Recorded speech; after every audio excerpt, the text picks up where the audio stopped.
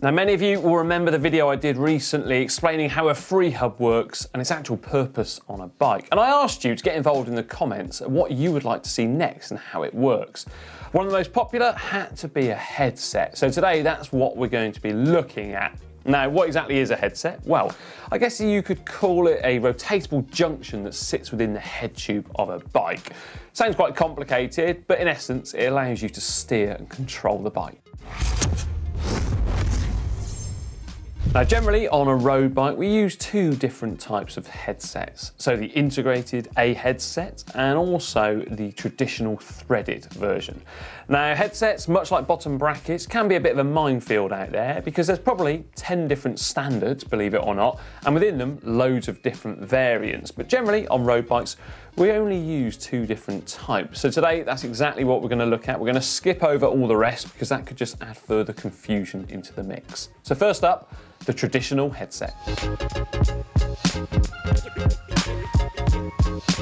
Now these are what bikes use traditionally for years and years and years. And if you think that if you've ever had to replace the bearings on a threadless headset and you've been in a bit of a minefield trying to find the right ones, these were no simpler because believe it or not, there were up to 13 different versions and standards, let alone not talking about the actual ball bearing size themselves. One inch JIS, one inch Raleigh, one inch standard, one inch professional Campagnolo, one inch Italian, French, East German, Austrian, BMX, French tandem, inch and an eighth, Moulton, an inch and a quarter. Now, some of these headsets, they differentiated themselves from another one by as little as the actual angle that the thread was cut into a steerer tube, as well as the component, not to mention the actual diameter of the steerer tube there too. And then you've got the pitch of it. So if you're ever looking to restore an old retro or vintage bike, you need to make sure you get the correct part. And that's not that easy these days. Right, with all this trivia out of the way, let's actually see then how it works. Now it consists of the following parts which can be loosely split into two categories, the lower assembly and the upper assembly. So the lower assembly, first up we've got a fork crown race. Then normally you have a dust seal, but that's not always the case, but mostly it is. Then you've got some ball bearings. Now these ones are fitted within a retainer themselves, but again, that's not always the case. This is more likely with a more modern headset. And then we've got the lower pressed cup. Then moving on to the upper assembly, we've got the upper pressed cup. See, pretty logical. Then we've got another dust seal, bearings, the upper threaded race. Then we've got a few washers. Again, not always necessary, but generally you do tend to have them. And then the threaded lock nuts. Right, let's actually assemble the headset then. And why not do it on an actual bike? Believe it or not, these forks are from an old team bike of mine from well, at least 20 years ago, probably 25 or maybe a little bit less, I don't know. Either way, first up, we're gonna start with the fork crown race then. Now this is interference fitted onto these bikes. So steel is a wonderful material because it's well quite resistant to quite a lot of abuse, let's face it. So that would slide on, and importantly, you've got the angled pieces, the uppermost part, because that's where the bearing is actually gonna sit.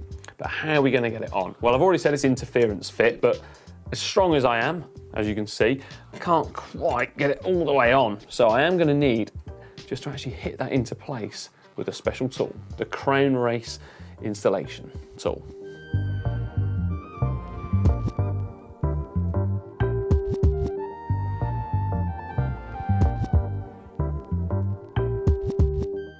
Right, so now we've got that crown race installed, it's time to actually fit the pressed cups into the head tube. So we've got the lower one here and the upper one here. The upper one can look slightly different. It all does depend on the different models out there. And as I've already mentioned quite a few times, there are so many different types. So it's time to bring up this old relic, an old race bike of mine. Seen many a victory, this one on the boards. Now, what I'm going to do is use the headset insulation tool to insert this cup into the lower part and then this one into the top and that's going to give the bearings inside of that retainer there a surface to sit on so that we can steer the bike nicely.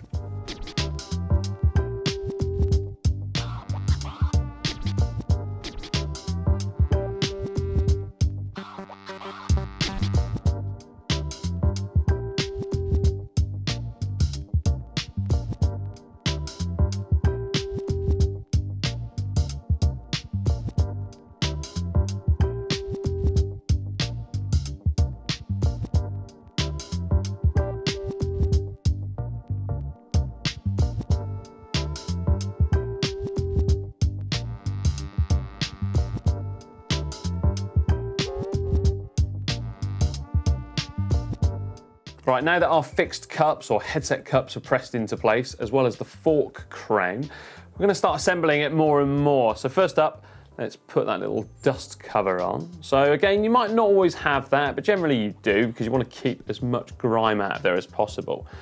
At this point, normally put a little bit of grease around the actual race there, the bearing race, the smooth surface that the ball bearings sit on and mate onto. Doesn't need a lot, just enough to help them try and operate smoothly. Then we're going to slide that bearing down over and onto the actual fork crown race. Now, there is a upside and a downside to put this on. You want to make sure that it is gone on correctly. So if you've got them inside of a retaining ring like that, you're going to have the most visible side of the ball bearings at the lower part onto the fork crown. And then it's probably worthwhile just putting a dab more grease actually onto these bearings before inserting it into the actual head tube cup here. And then you can see there a nice shiny surface and that's going to be where these ball bearings actually rotate on. So just inside of here, allowing these forks to actually steer.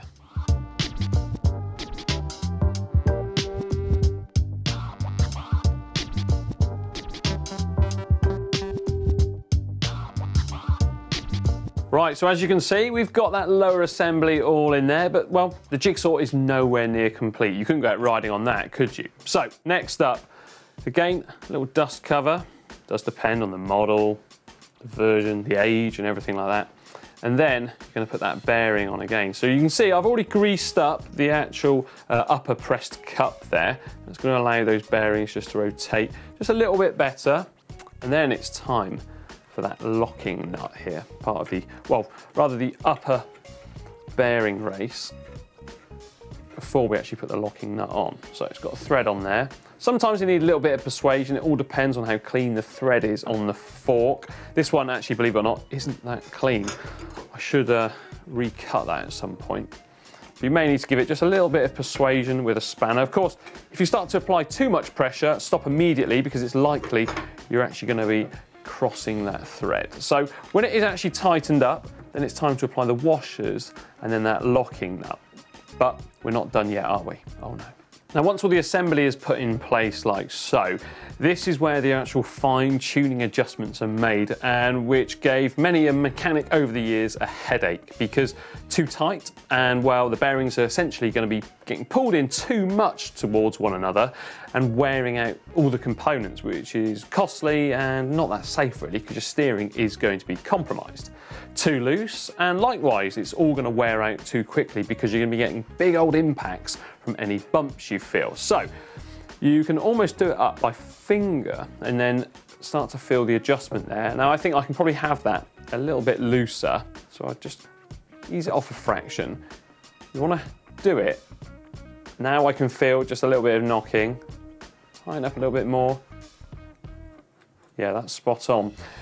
Now this is the bit which is always troublesome for people because you're trying to tighten two nuts against one another, or certainly hold one and then use that lock nut to actually lock it all down into place. So these headset spanners specific for the job. They do come again in loads of different versions, 30, 32, 34, 36, 40 millimeters and everything. But yeah, then you want to just lock that lock nut into place. And then, hopefully, you've got nice smooth steering. Yeah. If you're fussy like I am, you tend to just back off the bottom one a little bit until it's all working a-okay. But hopefully that's given you a quick overview on how the threaded headset works. What was that? The handlebars? Oh yeah, this is where we use a quill stem. Here we are, old racing bars. Obviously had a bit of a tumble that day. Um, as you can see, we've got a wedge system here and a bolt. Now the bolt threads into this wedge. And as you tighten that bolt, the wedge gradually creeps upwards on the lower portion of the actual quill here of the stem. And then goes on in and basically wedges inside of the actual steerer tube of the forks. And that is kind of interference fit again. It was around for donkey's years and was still on plenty of bikes today. The downside with them is quite often they can easily become stuck inside of a fork steerer. And well, it can be an absolute pain in the backside to actually release them unless you use lots of grease in the first place. So that's exactly what we're going to be doing. So we'll fit that into there and you'll see just exactly how it works.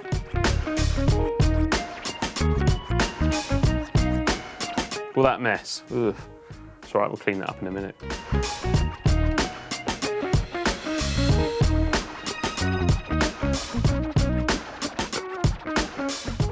That is how the threaded headset works.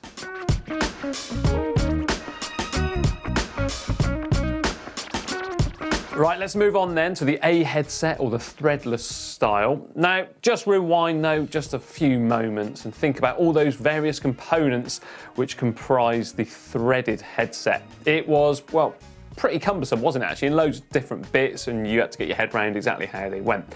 Whereas with the threadless style, this is literally the headset in my hand here. And you don't even need those big old headset spanners too. Instead, you could easily adjust and near enough fit one, in fact, with a tiny little multi-tool like this, or just a single Allen key.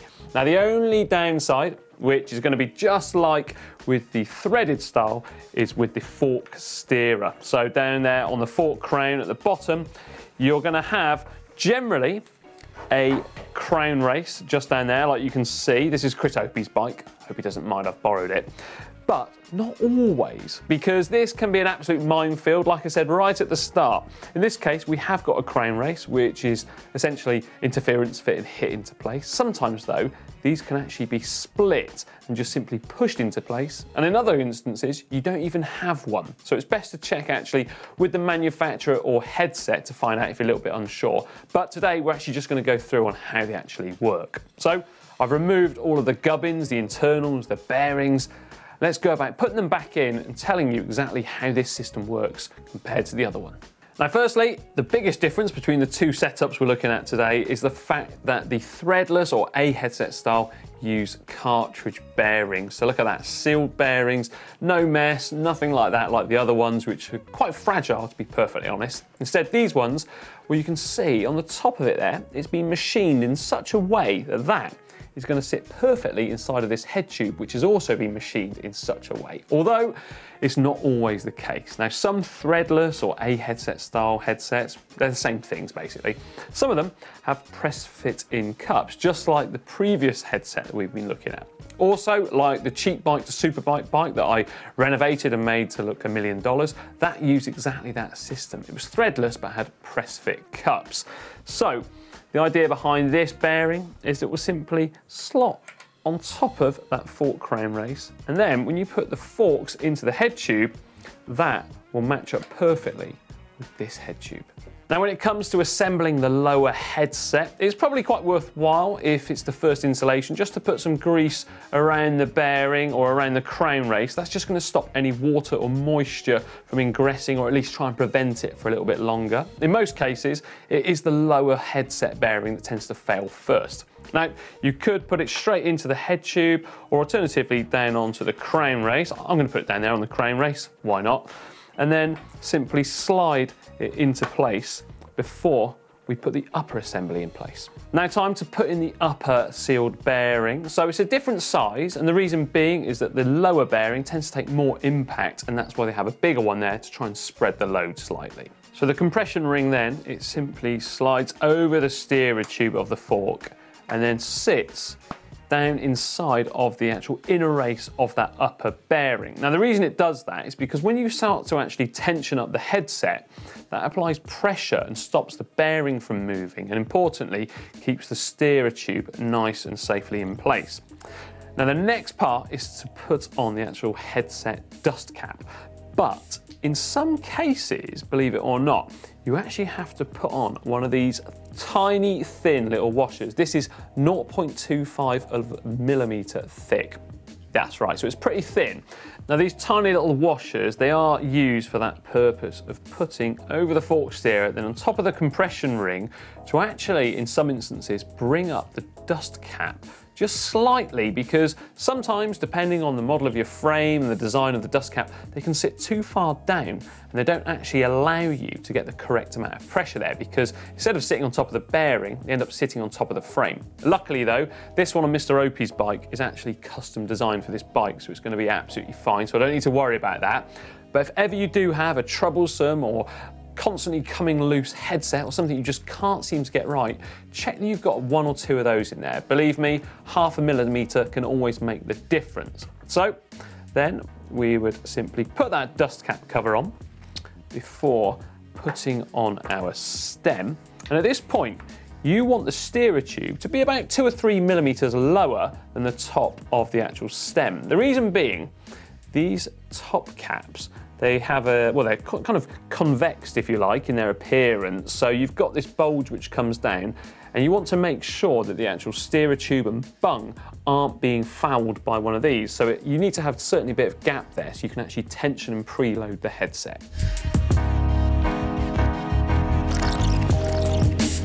So before we actually put that top cap and preload bolt on and adjust the headset, how on earth is that preload bolt going to work? Well, inside of the actual steerer tube here, we've got one of these, and this is called a bung. So a steerer bung, an expansion bung, anything like that.